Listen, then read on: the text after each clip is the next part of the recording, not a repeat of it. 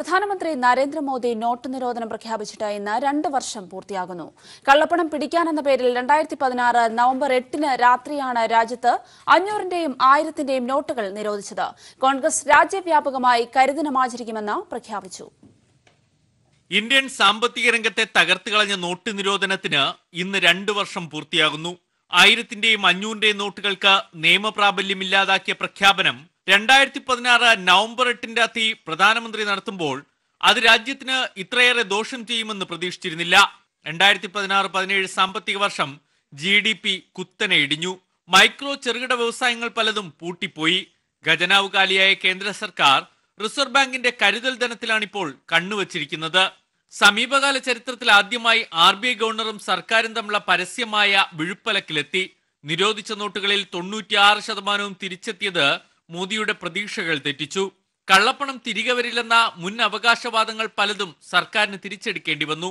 രണ്ടാം വാർഷിക ദിനം രാജ്യവ്യാപകമായി കരിദിനമായി കോൺഗ്രസ് ആചരിക്കും മറ്റു പ്രതിപക്ഷ പാർട്ടികളും വിവിധ പ്രതിഷേധ പരിപാടികൾ പ്രഖ്യാപിച്ചിട്ടുണ്ട് ന്യൂസ് ബ്യൂറോ ദില്ലി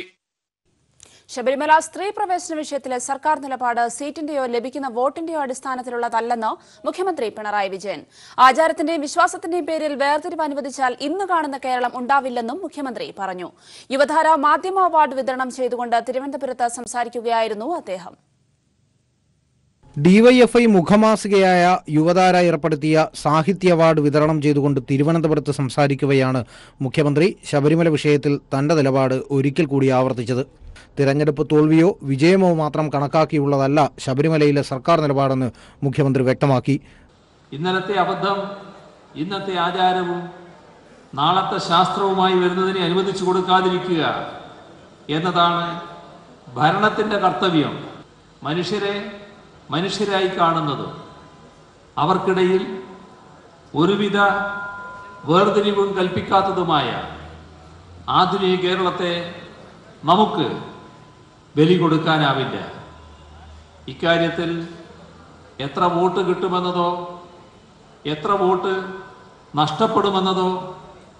എത്ര സീറ്റ് കിട്ടുമെന്നതോ എത്ര സീറ്റ് നഷ്ടപ്പെടുമെന്നതോ ഒന്നും നമ്മുടെ പരിഗണനയിൽ വരുന്ന കാര്യങ്ങളല്ല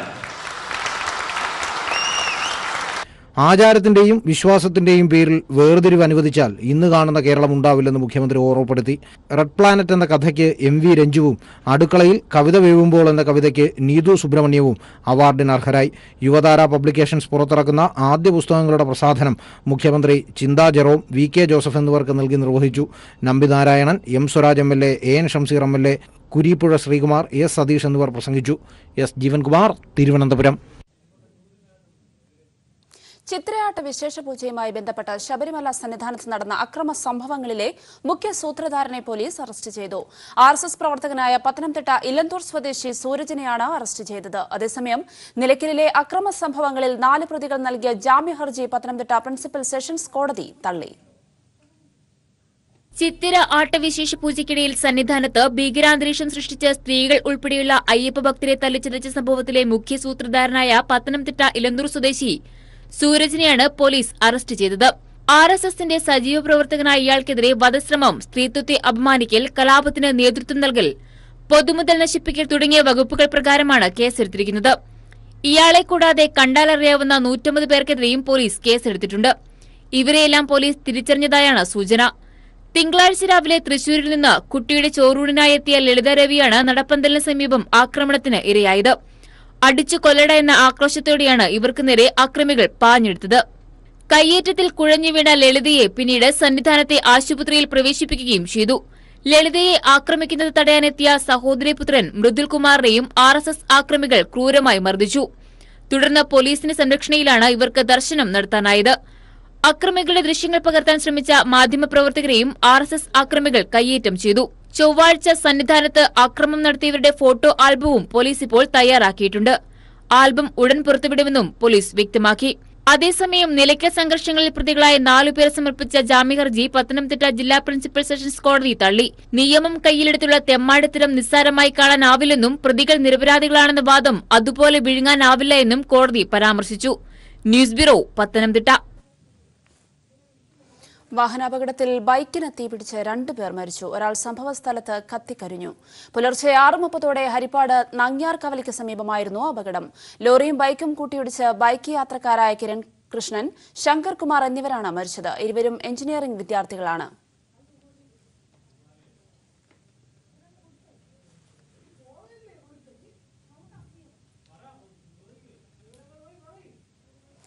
വിശദാംശങ്ങൾ നൽകാൻ ഷാജഹാൻ ചേരുകയാണ് ഷാജഹാൻ എത്തരത്തിലായിരുന്നു അപകടം ഒപ്പം മരിച്ച വിദ്യാർത്ഥിയുടെ കൂടെ ഉണ്ടായിരുന്ന ആളുടെ ആരോഗ്യനില എത്രത്തോളം ഗുരുതരമാണ് അത് സംബന്ധിച്ച വിശദാംശങ്ങൾ ലഭ്യമാകുന്നുണ്ടോ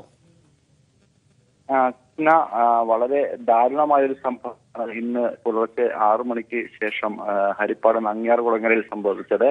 ദേശീയപാതയിൽ ലോറിയും ഇരുചക്ര വാഹനവും കൂട്ടിയിടിച്ചാണ് അപകടം സംഭവിച്ചത് ഇത് ഇരു ഇരുചക്ര ഉണ്ടായിരുന്നത് എഞ്ചിനീയറിംഗ് വിദ്യാർത്ഥികളായ രണ്ടുപേരായിരുന്നു ഇവർ രണ്ടുപേരും തീപിടുത്തത്തിൽ മരണപ്പെട്ടു ഒരാൾ സംഭവ സ്ഥലത്ത് വെച്ച് തന്നെ തീപിടുത്തത്തിൽ കത്തിക്കരിഞ്ഞ നിലയിലായിരുന്നു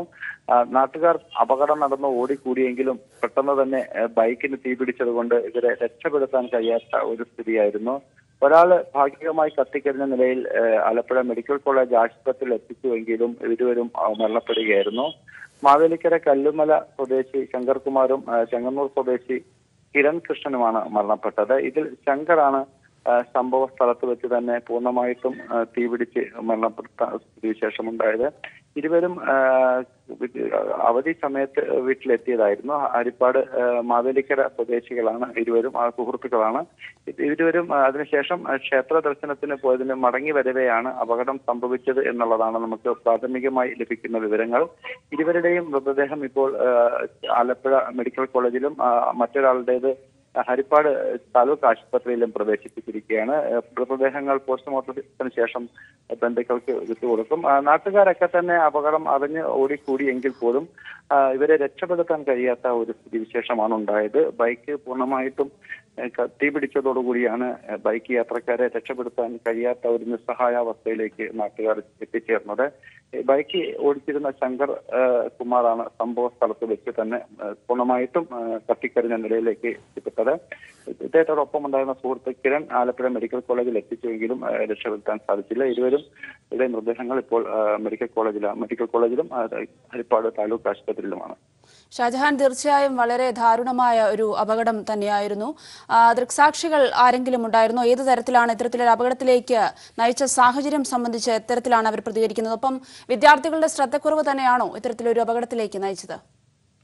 വിദ്യാർത്ഥികളുടെ ശ്രദ്ധക്കുറവ് തന്നെയാണ് അപകടത്തിന് കാരണമായത് എന്നുള്ളതാണ് പ്രാഥമികമായിട്ട് നമുക്ക് ലഭ്യമാകുന്ന വിവരങ്ങൾ എന്തായാലും പുലർച്ചയോടുകൂടി ആറു മണിക്ക് ശേഷമായിരുന്നതുകൊണ്ട് തന്നെ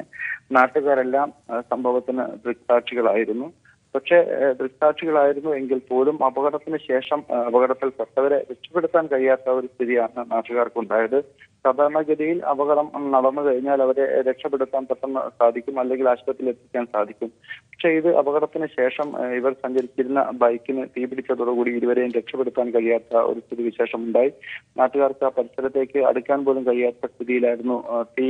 അഗ്നികോളം ബൈക്കിനെ വിഴുങ്ങിയത് അതുകൊണ്ട് തന്നെ ഇരുവരെയും രക്ഷപ്പെടുത്താൻ സാധിച്ചില്ല ബൈക്ക് ഓടിച്ചിരുന്ന ശങ്കറാണ് പൂർണ്ണമായിട്ടും കത്തിക്കരിഞ്ഞ നിലയിൽ റോഡിൽ തന്നെ കിടക്കുന്ന ഒരു സ്ഥിതി ഉണ്ടായത് ഇദ്ദേഹത്തെ രക്ഷപ്പെടുത്താൻ സാധിച്ചില്ല ഒപ്പം വളരെ ഭാഗികമായ തീപിടിച്ച കൂടെ ഉണ്ടായിരുന്ന കിരൺ കൃഷ്ണയാണ് ആലപ്പുഴ മെഡിക്കൽ കോളേജിൽ എത്തിച്ചത് പക്ഷെ അവിടെ എത്തിച്ചുവെങ്കിൽ പോലും പൂർണ്ണമായിട്ടും രണ്ടുപേരും രക്ഷപ്പെടുത്താൻ സാധിക്കാത്ത ഒരവസ്ഥയായിരുന്നു ഇരുവരുടെയും മൃതദേഹങ്ങൾ ഇപ്പോൾ പോസ്റ്റ്മോർട്ടത്തിന് ശേഷം രാവിലെ ബന്ധുക്കൾക്ക് വിട്ടു വാഹനാപകടത്തിൽ ബൈക്കിന് തീപിടിച്ച് രണ്ട് വിദ്യാർത്ഥികൾ മരിച്ചു വിശദാംശങ്ങൾ നൽകിയത് ഷാജഹാനാണ് ആലപ്പുഴ വെൺമണിയിൽ സിപിഐഎം പ്രകടനത്തിന് നേരെ ആർ എസ് എസ് ആക്രമണം വെൺമണി ക്ഷേത്രത്തിൽ ആയുധങ്ങൾ ശേഖരിച്ചാണ് ആക്രമണം നടത്തിയത് ആക്രമണത്തിൽ ജില്ലാ ബ്ലോക്ക് പഞ്ചായത്ത് അംഗങ്ങൾക്ക് പരിക്കേറ്റു സംഭവത്തിൽ പ്രതിഷേധിച്ച് രാവിലെ ആറ് മുതൽ വെൺമണി പഞ്ചായത്തിൽ CPIM hartal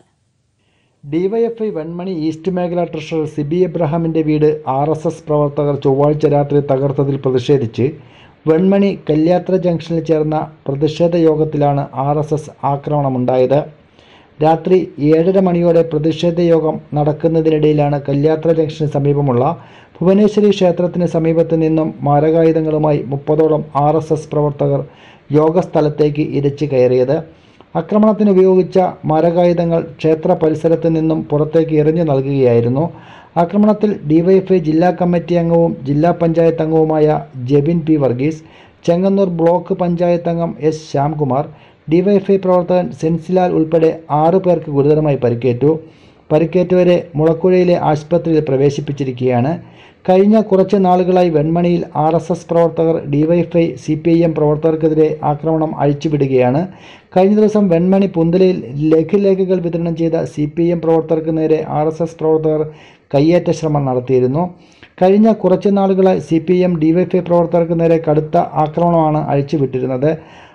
R S S B J P പ്രവർത്തകർ ഇപ്പോൾ ജനപ്രതികൾക്ക് നേരെയും വധശ്രമത്തിന് മുതിരുകയാണ് എന്നുള്ളതാണ് ഏറ്റവും ഒടുവിലായിട്ട് കാണുന്ന ഉദാഹരണം വിശ്വാസത്തിൻ്റെ പേരിൽ ഇത്തരം ആക്രമണങ്ങൾ അവസാനിപ്പിച്ചില്ല എങ്കിൽ ശക്തമായ തിരിച്ചടി ഉണ്ടാകുമെന്ന് C P M Chengannur area secretary M H Rasheed പറഞ്ഞു ഞങ്ങളുടെ ഒരു ഡി വൈ ഐയുടെ പ്രവർത്തകൻ്റെ വീടിന് നേരെ ആക്രമണം ഉണ്ടായി അതിൻ്റെ പ്രതിഷേധമാണ് ഇന്ന് നടന്നത് ആ പ്രതിഷേധ യോഗത്തിലേക്ക് ആയുധധാരികളായ ആർ എസ് എസുകാർ അമ്പലത്തിൽ നിന്ന് ഇറങ്ങി വന്നാണ് അവരെ ആക്രമിച്ചത് ഇതാകെ ക്രൂരമായി ഇവരെ ആകെ മർദ്ദിച്ചതിന് ശേഷം കേസിൻ്റെ ഗതി മാറ്റിവിടുന്നതിന് വേണ്ടി കള്ളപ്രചരണങ്ങളുമായി രംഗത്തിറങ്ങുന്നു ആക്രമണത്തിൽ പ്രതിഷേധിച്ച് സി പി എം വെൺമണി പഞ്ചായത്തിൽ വ്യാഴാഴ്ച രാവിലെ ആറു മണി മുതൽ വൈകിട്ട് ആറു മണിവരെ ഹർത്താലിന് ആഹ്വാനം ചെയ്തിരിക്കുകയാണ് പരിക്കേറ്റവരെ Chengannur M L A Saji ചെറിയാനും സി പി എമ്മിൻ്റെ മറ്റ് നേതാക്കളും സന്ദർശിച്ചു ഷജഹാൻ ന്യൂസ് ബ്യൂറോ ആലപ്പുഴ തിരികെ വരാം ഇടവേളയ്ക്ക് ശേഷം സോഷ്യൽ മീഡിയയിലെ മരണ പേജുകളുടെ സ്വാധീനം കുട്ടികളിൽ ആത്മഹത്യാ പ്രവണതയ്ക്ക് കാരണമാകുന്നുവെന്ന വിവരങ്ങളെ അടിസ്ഥാനത്തിൽ അന്വേഷണം ഊർജിതപ്പെടുത്തി പോലീസ് വയനാട്ടിൽ മൂന്ന് കുട്ടികൾ ആത്മഹത്യ ചെയ്തത് സംബന്ധിച്ച അന്വേഷണം പുരോഗമിക്കുകയാണ് Kannur range I G Balram Kumar ഉപാധ്യയ്ക്കാണ് അന്വേഷണ ചുമതല മരണത്തെയും ഏകാന്തതയും മഹത്വവൽക്കരിക്കുന്ന വാട്സ്ആപ്പ് ഫേസ്ബുക്ക് ഇൻസ്റ്റാഗ്രാം ഗ്രൂപ്പുകളുടെ സ്വാധീനം വയനാട്ടിൽ അടുത്തിടെ നടന്ന കൗമാരക്കാരുടെ ആത്മഹത്യകൾക്ക് കാരണമായിട്ടുണ്ടെന്നാണ് പോലീസ് നിഗമനം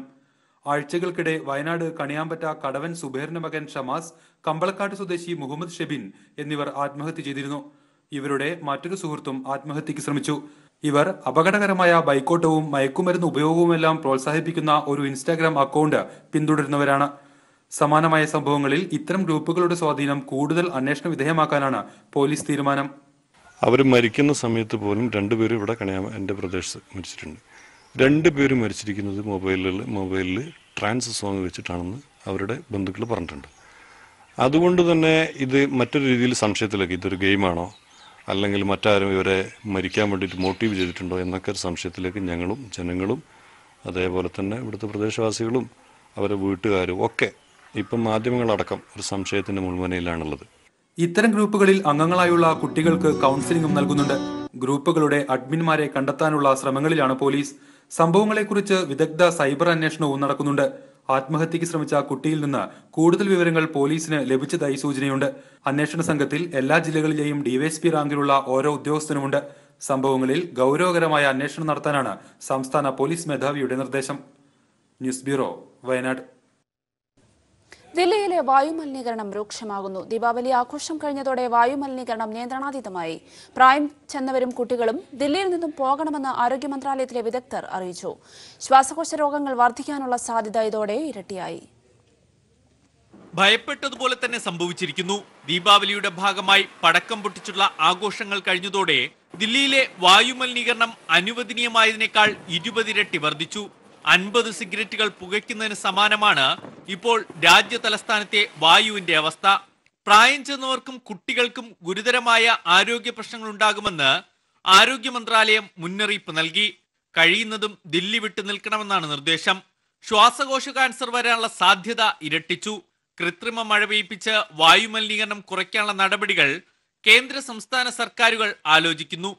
ഭാരവാഹനങ്ങൾ ദില്ലിയിലേക്ക് പ്രവേശിക്കുന്നത് നിരോധിച്ചിട്ടുണ്ട് ന്യൂസ് ബ്യൂറോ ദില്ലി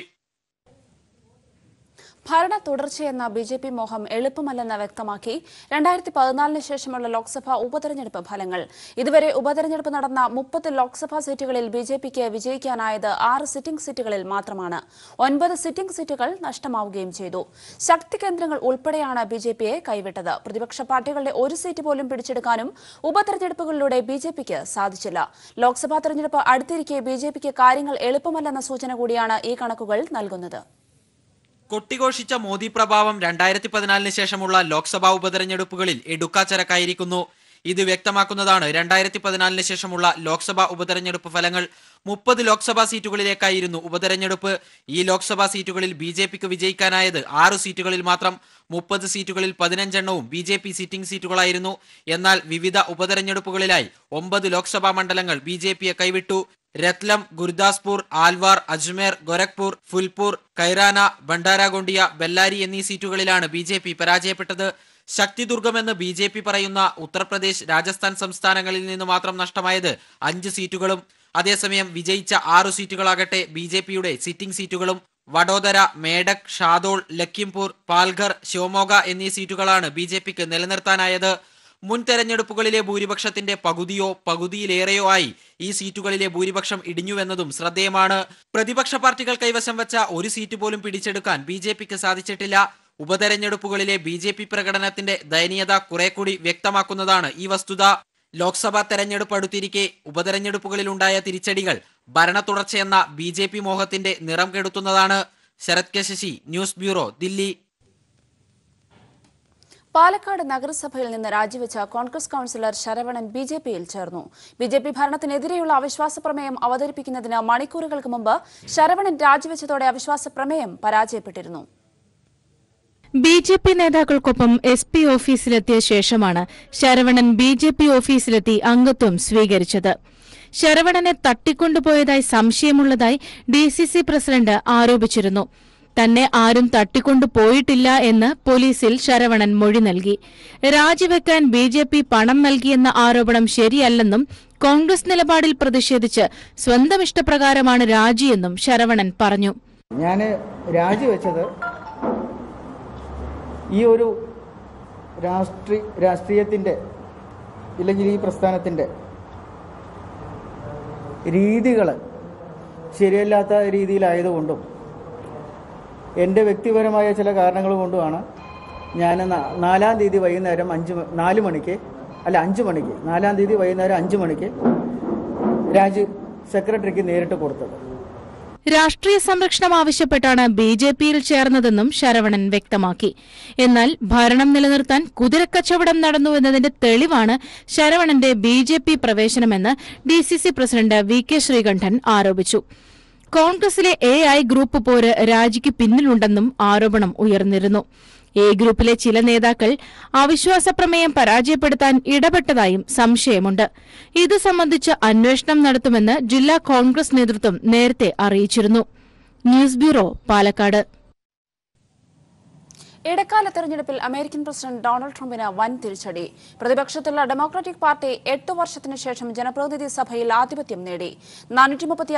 ജനപ്രതിനിധി സഭയിൽ ഇരുപത്തിയേഴ് അംഗങ്ങളെ കൂടിയെത്തിച്ച് ഇരുന്നൂറ്റി സീറ്റുകളുമായി ഡെമോക്രാറ്റുകൾ കേവല ഭൂരിപക്ഷം നേടി മുപ്പത്തിയഞ്ച് സീറ്റിലേക്ക് തെരഞ്ഞെടുപ്പ് നടന്ന നൂറംഗ സെനറ്റിൽ നേരിയ ഭൂരിപക്ഷമെങ്കിലും നിലനിർത്താനായത് ട്രംപിനും റിപ്പബ്ലിക്കൻ പാർട്ടിക്കും ആശ്വാസമായി രണ്ട് വർഷത്തിനു ശേഷം നടക്കാനിരിക്കുന്ന പ്രസിഡന്റ് തെരഞ്ഞെടുപ്പിൽ മത്സരം കടുത്തതാകുമെന്ന് വ്യക്തമാക്കുന്നതാണ് ജനവിധി ജനപ്രതിനിധി സഭയിൽ ഭൂരിപക്ഷം നഷ്ടമായതോടെ കുടിയേറ്റം നികുതി ആരോഗ്യം തുടങ്ങിയ മേഖലകളിൽ സമൂല മാറ്റം കൊണ്ടുവരാൻ നിയമനിർമ്മാണത്തിന് തുനിയുന്ന ട്രംപിന് കടമ്പകളേറി ശേഷിക്കുന്ന രണ്ട് വർഷം കടുത്ത വെല്ലുവിളിയാകുമെന്നും ഇതോടെ ഉറപ്പായി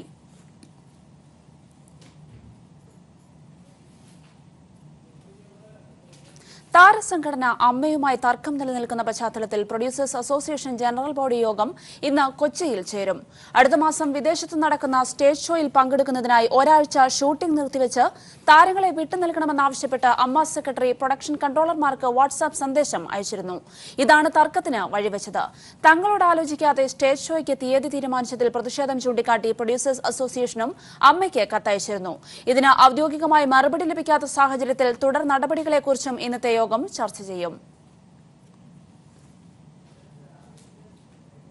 പങ്കാളിത്ത പെൻഷൻ പുനഃപരിശോധനയ്ക്കുള്ള സമിതിക്ക് രൂപമായി റിട്ടയർഡ് ജില്ലാ ജഡ്ജി സതീഷ് ചന്ദ്രബാബുവാണ് സമിതി ചെയർമാൻ എട്ട് പരിഗണനാ വിഷയങ്ങളിലാണ് സമിതി പുനഃപരിശോധന നടത്തുക ഇത് സംബന്ധിച്ചുള്ള ധനവകുപ്പിന്റെ നിർദ്ദേശങ്ങൾ മുഖ്യമന്ത്രി അംഗീകരിച്ചു സർക്കാർ ജീവനക്കാരുടെ പങ്കാളിത്ത പെൻഷൻ പദ്ധതി പുനഃപരിശോധിക്കുന്നത് പഠിക്കാനുള്ള സമിതിക്കാണ് ധനവകുപ്പ് രൂപം കൊടുത്തത് പദ്ധതിയിൽ നിന്ന് പിന്മാറുമ്പോഴുണ്ടാകുന്ന പ്രത്യാഘാതങ്ങളെക്കുറിച്ചാണ് സമിതി പ്രധാനമായും പഠിക്കുക റിട്ടയർഡ് ജില്ലാ ജഡ്ജ് എസ് സതീഷ് ചന്ദ്രബാബുവാണ് സമിതി ചെയർമാൻ മുൻ additional chief secretary P Marapandian Gulati institute of finance and taxation director professor D Narayana എന്നിവരാണ് സമിതി അംഗങ്ങൾ പ്രധാനമായും എട്ട് പരിഗണനാ വിഷയങ്ങളാണ് സമിതിക്ക് മുന്നിലുള്ളത് പദ്ധതിയിൽ നിന്നും പിന്മാറുമ്പോൾ ഉണ്ടാകുന്ന പ്രത്യാഘാതങ്ങൾ വിശദമായി പരിശോധിക്കും കേന്ദ്ര ധനക്കമ്മീഷന്റെ നിബന്ധനകളെ ഇത് ഏത് രീതിയിൽ ബാധിക്കും N P S trust N S D L എന്നിവരുമായുള്ള കരാറുകൾ സൃഷ്ടിക്കുന്ന ബാധ്യത സ്റ്റാറ്റ്യൂട്ടറി പെൻഷനിലേക്ക് മാറുമ്പോൾ ജീവനക്കാരുടെ പെൻഷൻ വിഹിതം ഏത് രീതിയിൽ കൈകാര്യം ചെയ്യും പങ്കാളിത്ത പെൻഷൻ പദ്ധതി നടപ്പിലാക്കിയ മറ്റ് സംസ്ഥാനങ്ങളുടെ അനുഭവം തുടങ്ങിയവയെല്ലാം സമിതി പരിശോധിച്ച് റിപ്പോർട്ട് സമർപ്പിക്കും അതിന്റെ അടിസ്ഥാനത്തിലാകും തുടർ നടപടി രണ്ടായിരത്തി പതിമൂന്നിൽ ഉമ്മൻചാണ്ടി മുഖ്യമന്ത്രിയായിരുന്നപ്പോഴാണ് പങ്കാളിത്ത പെൻഷൻ പദ്ധതി സംസ്ഥാനത്ത് നടപ്പിലാക്കിയത് എന്നാൽ അശാസ്ത്രീയമായ പങ്കാളിത്ത പെൻഷൻ സമ്പ്രദായം മാറ്റി സ്റ്റാറ്റ്യൂട്ടറി പെൻഷൻ രീതി പുനഃസ്ഥാപിക്കുമെന്നത് എൽ ഡി എഫിന്റെ തെരഞ്ഞെടുപ്പ് വാഗ്ദാനങ്ങളിൽ ഒന്നുകൂടിയായിരുന്നു ന്യൂസ് ബ്യൂറോ തിരുവനന്തപുരം കൊല്ലം പുനലൂരിൽ നിന്ന് വീട്ടമ്മയെ കാണാതായതായി പരാതി പുനലൂർ തോളിക്കോട് വൃന്ദാവൻ വീട്ടിൽ ബീനയാണ് ഒന്നാം തീയതി മുതൽ ദുരൂഹ സാഹചര്യത്തിൽ കാണാതായിരിക്കുന്നത് തിരുവനന്തപുരം വട്ടപ്പാറയിൽ പഠിക്കുന്ന മകളുടെ കോളേജ് ഫീസ് അടയ്ക്കുന്നതിനായാണ് ബീന വീട്ടിൽ നിന്ന് രാവിലെ ഇറങ്ങിയത് പതിനൊന്ന് മണിയോടെ ബീനയുടെ ഉടമസ്ഥതയിലുള്ള പുനലൂരിലെ റോയൽ കാൻഡിൽസ് എന്ന സ്ഥാപനത്തിൽ പോയ ശേഷം ഉച്ചയ്ക്ക് രണ്ട് മുപ്പതോടെ അവിടെ നിന്നും ഇറങ്ങി രണ്ട് മുപ്പത്തിയെട്ടിന് ബീന പുനലൂരിൽ നിൽക്കുന്നതായുള്ള സി സി ടി വി ദൃശ്യങ്ങൾ പോലീസിന് ലഭിച്ചിട്ടുണ്ട് മൂന്ന് പന്ത്രണ്ടോടെ ബീനയുടെ മൊബൈൽ നമ്പർ കൊട്ടാരക്കര ചന്തമുക്കിലെ മൊബൈൽ ടവറിൽ രേഖപ്പെടുത്തിയിട്ടുമുണ്ട് പിന്നീട് ഫോൺ സ്വിച്ച് ഓഫ് ആവുകയും ചെയ്തു ബീനയുടെ സഹോദരൻ സജീവ് എൻ്റെ സഹോദരി ബീന മൂത്ത മകളുടെ ഫീസ് അടയ്ക്കുന്നതിന് വേണ്ടി ബാങ്കിൽ പോയി പൈസ എടുത്ത് P M S college dental കോളേജിൽ ഫീസ് അടയ്ക്കുന്നതിന് വേണ്ടി പോവുകയായിരുന്നു തിരിച്ച് ബാങ്കിൽ പോയി പൈസ എടുത്തിട്ടുമില്ല പി എം എസ് കോളേജിൽ ഫീസ് അടച്ചിട്ടുമില്ല ഉച്ചയ്ക്ക് രണ്ട് മുപ്പത് മുതൽ ബീനയെ കാണുവാനില്ല ബീനയുടെ ഭർത്താവ് അഭിഭാഷകനായ സനുവാണ് ന്യൂസ് ബ്യൂറോ തിരുവനന്തപുരം സാക്ഷരതാ മിഷന്റെ നേതൃത്വത്തിൽ നടത്തിയ അക്ഷരലക്ഷം തുല്യതാ പരീക്ഷയിൽ തൊണ്ണൂറ്റിയേഴാം വയസ്സിൽ തൊണ്ണൂറ്റിയെട്ട് മാർക്ക് വാങ്ങി ഒന്നാം റാങ്ക് നേടിയ ആലപ്പുഴയിലെ കാർത്യാനി അമ്മയ്ക്ക് പൊതുവിദ്യാഭ്യാസ മന്ത്രി പ്രൊഫസർ സി രവീന്ദ്രനാഥ് ലാപ്ടോപ്പ് വാങ്ങി നൽകി കാർത്യാനി അമ്മയെ അനുമോദിക്കാൻ വീട്ടിലെത്തിയ മന്ത്രി നേരത്തെ തന്നെ കമ്പ്യൂട്ടർ പഠിക്കണമെന്ന ആഗ്രഹം അറിയിച്ചിരുന്ന കാർത്യാനി അമ്മയ്ക്ക് ഒരു ലാപ്ടോപ്പ് വാങ്ങി സമ്മാനിക്കുകയായിരുന്നു ലാപ്ടോപ്പ് കിട്ടിയുടൻ തന്നെ കാർത്തിയാനിയമ്മ ഇംഗ്ലീഷിൽ തന്റെ പേര് ടൈപ്പ് ചെയ്ത് കാണിച്ചു അടുത്ത വർഷം പത്താം തരം തുല്യതാ പരീക്ഷ എഴുതാനുള്ള ആഗ്രഹവും മന്ത്രിയോട് കാർത്തിയാനിയമ്മ പങ്കുവച്ചു പൊതുവിദ്യാഭ്യാസ director K V Mohankumar S I director Aburaj എന്നിവരും മന്ത്രിയോടൊപ്പമുണ്ടായിരുന്നു വിശ്വാസങ്ങളെ ഇല്ലായ്മ ചെയ്യണമെന്നത് ഗവൺമെന്റിന്റെ ലക്ഷ്യമല്ല എന്ന് സംസ്ഥാന ഫിഷറീസ് വകുപ്പ് മന്ത്രി മേഴ്സിക്കുട്ടിയമ്മ ആറന്മുള സെന്റ് സെബാസ്റ്റ്യൻസ് ദേവാലയത്തിൽ സംഘടിപ്പിച്ച രക്ഷയുടെ കരങ്ങൾ എന്ന പരിപാടി ഉദ്ഘാടനം ചെയ്ത് സംസാരിക്കുകയായിരുന്നു മന്ത്രി ഹിന്ദുമതമായാലും മതത്തിൽ രാഷ്ട്രീയ ഇടപെടലുണ്ടായാൽ അത് വർഗീയ കലാപങ്ങൾക്കും സംഘർഷങ്ങൾക്കും കാരണമാകും വിശ്വാസം സ്വകാര്യതയാണ് അത് ഒരിക്കലും രാഷ്ട്രീയ ആയുധമാക്കരുത് കേരളം എന്ന പുണ്യഭൂമി ശാന്തമായി സമാധാനമായി തുടരാൻ അനുവദിക്കണമെന്നും പ്രളയം കേരളത്തിന് ഗുണപാഠമാകണമെന്നും മേഴ്സിക്കുട്ടിയമ്മ അഭിപ്രായപ്പെട്ടു മഹാപ്രളയത്തിൽ രക്ഷാപ്രവർത്തനത്തിലേർപ്പെട്ട കാത്തോലിക്ക സഭ പുനലൂർ രൂപതയുടെ കീഴിലുള്ള ഇടവകകളിലെ അറുപതോളം അംഗങ്ങളെ ആദരിക്കുന്നതിനായാണ് രക്ഷയുടെ കരങ്ങൾ എന്ന പേരിൽ ആറന്മുള സെന്റ് സെബാസ്റ്റ്യൻസ് ദേവാലയത്തിൽ ചടങ്ങ് സംഘടിപ്പിച്ചത് പ്രളയത്തിൽ ഒറ്റപ്പെട്ട നൂറുകണക്കിനാളുകളെ ചെറുവള്ളങ്ങളിലെത്തി രക്ഷപ്പെടുത്തിയ രക്ഷാപ്രവർത്തകരെ ചടങ്ങിൽ പൊന്നാടയണിയിച്ച് ആദരിച്ചു പുനലൂർ മെത്രാൻ ഡോക്ടർ സെൽവിസ്റ്റർ പൊന്നുമുത്തിന്റെ അധ്യക്ഷതയിൽ നടന്ന ചടങ്ങിൽ Veena George M L A മുഖ്യപ്രഭാഷണം നടത്തി ന്യൂസ് ബ്യൂറോ പത്തനംതിട്ട അജ്ഞാത രോഗത്തെ തുടർന്ന് ആടുകൾ കൂട്ടമായി ചത്തു തുടങ്ങിയതോടെ ദുരിതത്തിലായിരിക്കുകയാണ് മറയൂരിലെ ആദിവാസി കുടുംബങ്ങളിലെ കർഷകർ ചൂരക്കുളം ആദിവാസി കുടിയിലും സമീപ പ്രദേശങ്ങളിലുമായി പത്ത് ദിവസത്തിനിടെ ഇരുന്നൂറിലധികം ആടുകളാണ് ചത്തൊടുങ്ങിയത് ചുരക്കുളം ആദിവാസി കുടിയിലും സമീപ പ്രദേശങ്ങളായ പൊങ്ങമ്പള്ളി പുതുവെട്ട് എന്നിവിടങ്ങളിലും നിരവധി ആടുകളാണ് കൂട്ടമായി ചത്തത് ചുരക്കുളത്ത് മാത്രം കാളിയപ്പന്റെ നാൽപ്പത്തിയെട്ട് ആടുകളും രാജുവിന്റെ നാൽപ്പത് മുരുകന്റെ ഇരുപത് ലക്ഷ്മണന്റെ പതിനാറ് മണി ശാന്ത ഈശ്വരി മണി എന്നിവരുടെ പതിനഞ്ച് വീതം ആടുകളും ഉൾപ്പെടെ നൂറ്റി തൊണ്ണൂറ്റിയേഴ് ആടുകളാണ് ചത്തിരിക്കുന്നത് ആടുകൾ കൂട്ടത്തോടെ ചാകുന്നതിനാൽ ഉപജീവനമാർഗം നഷ്ടപ്പെട്ട അവസ്ഥയിലാണ് കർഷകർ എങ്കാട് മട്ടുമില്ല ഇന്ന കുടിയിലുള്ള ആദിവാസി കോളനിയിലുള്ള കുടിയിലുള്ള എല്ലാ ആടുമാട് വെച്ചിരിക്കുന്ന കുടിയിൽ വീട്ടിലുള്ള ആടുകളുള്ള പല ஆடுகள் செத்து போயிருக்குது எங்கள் ஒரு வீட்டில் மட்டும் பதினஞ்சு உருப்படி அப்போ எங்களை மாதிரியுள்ள ஆதிவாசி மக்கள் இது மாதிரி செத்து பிடிச்சு போனால் எங்களுக்கு ஜீவிக்கிறதுக்குள்ள வழி കടുത്ത പനിയും വയറിളക്കവുമാണ് രോഗലക്ഷണങ്ങൾ മറയൂർ മൃഗാശുപത്രിയിൽ നിന്ന് മരുന്ന് വാങ്ങിക്കൊടുക്കുന്നുണ്ടെങ്കിലും ഫലം കാണുന്നില്ലെന്ന് ഇവർ പറയുന്നു எனக்குள்ள ஆடு இருபது ஆடும் போச்சு மாசமா இதே பொழப்புத நைட்டு தான் இருக்கு அப்புறம் எல்லாம் செத்துருவோம் ആശുപത്രിയിലിരുന്ന് മരുന്ന് വാങ്ങിയാന്ന് കൊടുത്തും ഒരു പുണ്യമില്ല സർക്കാർ നഷ്ടപരിഹാരം നൽകണമെന്നും ആടുകൾക്ക് മികച്ച ചികിത്സ ഉറപ്പാക്കണമെന്നുമാണ് നാട്ടുകാരുടെ ആവശ്യം ന്യൂസ് ബ്യൂറോ ഇടുക്കി